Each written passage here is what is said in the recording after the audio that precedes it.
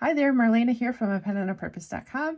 And in this video, I'm going to show you how to make more stable lines in Procreate. So this series has been on how to make straight lines in Procreate, and this will help with straight lines, but I also think it's awesome for doing things like lettering.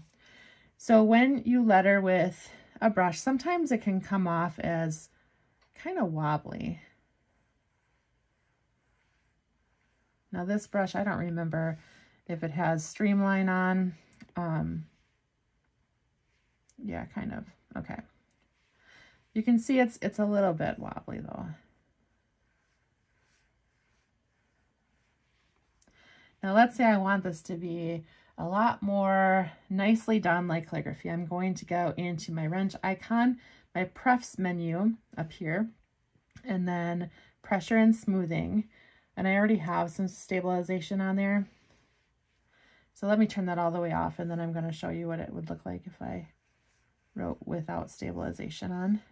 It's pretty similar, but that makes sense because I only had it on about 26% cab. So now I'm going to go back in there, hit pressure and smoothing, and I'm going to stabilize it, let's say up to 50%.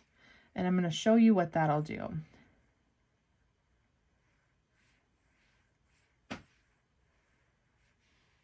So I've lost some of the kind of waviness in my L's because it's it's really stabilizing that. It's harder for me to be wobbly.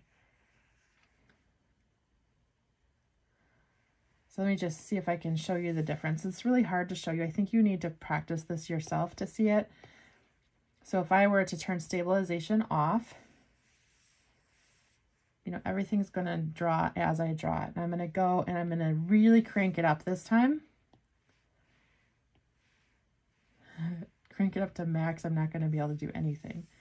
Do you see how it's not even letting me? It's so stable that I just can't even do anything.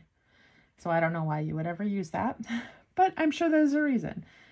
So I'm going to turn it back down to 50%.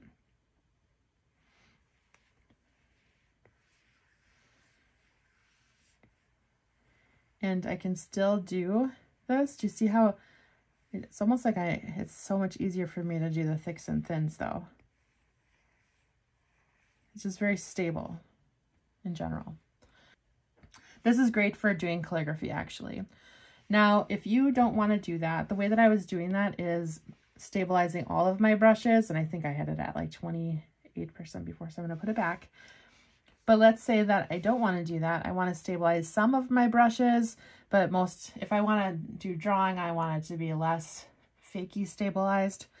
Um, I would go into my actual brush and change the brush settings.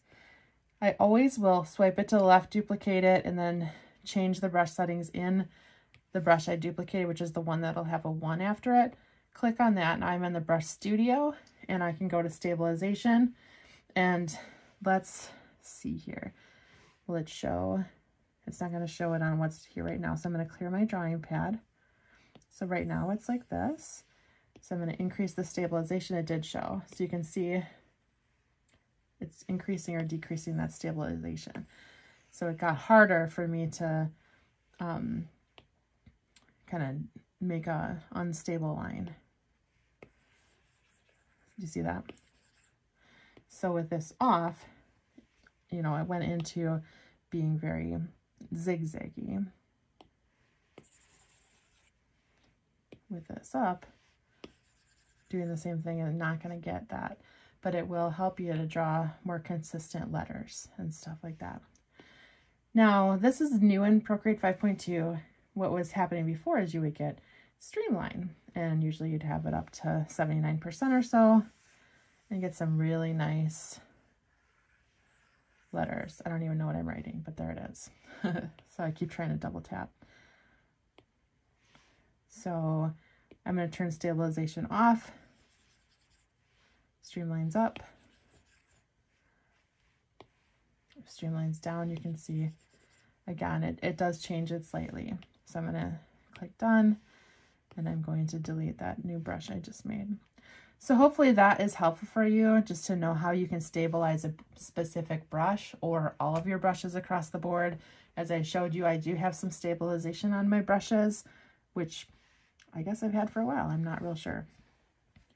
So if you found this helpful, please remember to hit the like button and subscribe and leave me any comments of any other things you'd like me to show you in Procreate.